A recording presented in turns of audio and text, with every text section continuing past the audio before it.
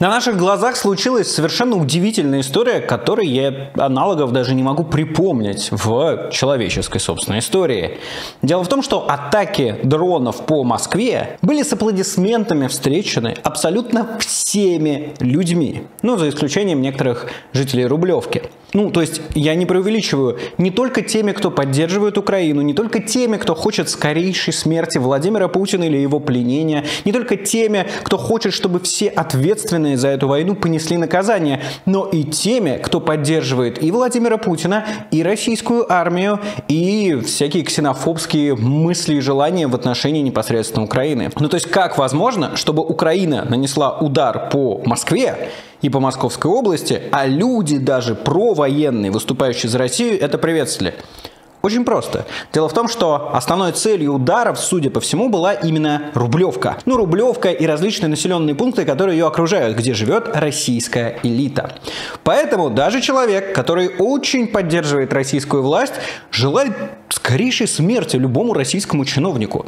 Несмотря на то, что идет война, несмотря на то, что российская пропаганда активно действует, и несмотря на то, что действительно существует немалое количество людей, которые поддерживают лично Путина и российскую агрессию, они все еще все абсолютно ненавидят чиновников. Они все еще совершенно не против, чтобы украинский дрон впился в задницу какому-нибудь очередному заместителю министра обороны в его шикарную дачу, сломал бы его какой-нибудь мраморный итальянский стол или какой-нибудь его коллега коллекцию дорогих вин. Это люди категорически приветствуют, причем по обе стороны баррикад. Поэтому этот удар приветствовался в том числе и многими Z-патриотами.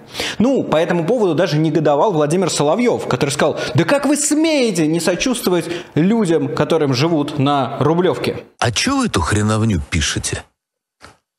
Вам что, нравится то, что удар идет по Москве? Вы, ну, еще начнете укронацистам аплодировать. Чего вы так радуетесь? Ах, Рублевка, а там не русские люди живут? Не наши с вами соотечественники? Ах, Москва, а что, все москвичи на смузи фалафельный? Чего вы так радуетесь? Что вы из себя так орежите? Или уже у нас не единая страна, не единый народ? Вам уже «ах, вот!» Вы с интонацией-то поаккуратней. Вы так чуть-чуть в чувство придите.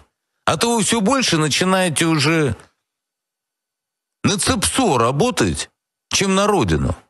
Так немножко встряхнитесь-ка и приберите вот это свое.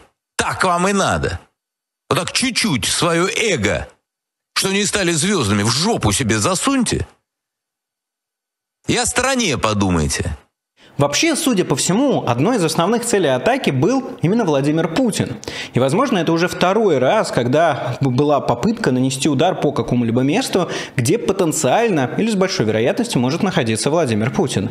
Первый мы помним удары по Кремлю. Да, дроны там не могли пробить эту крышу, и, скорее всего, э, не было Путина на месте. Но сейчас, что называется, все гораздо ближе к возможному потенциальному устранению Путина.